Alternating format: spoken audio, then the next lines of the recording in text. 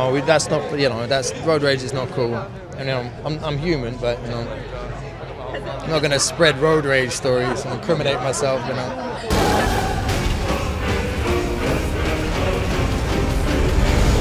I, I had a friend one time that got out of the car and like started a fight with a car in front of us and I was like freaking out and it was really hectic and it's pretty scary. Think I caused the road rage. I'm a terrible driver. I know, I'm just really impatient.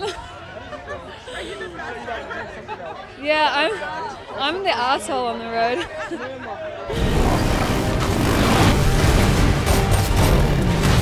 I don't think I can say what would go on, what comes out of my mouth on camera.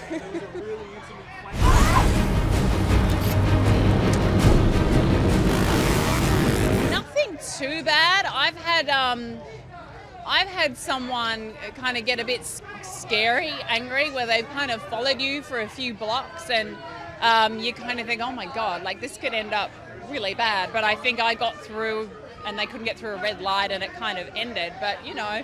You do have to be careful now on, on the roads because people can just snap. I think we're living in a society where we're very stressed, so everyone needs to just chill out, go watch Mad Max, Fury Road, put your energy there, everything will be fine. I am awaited.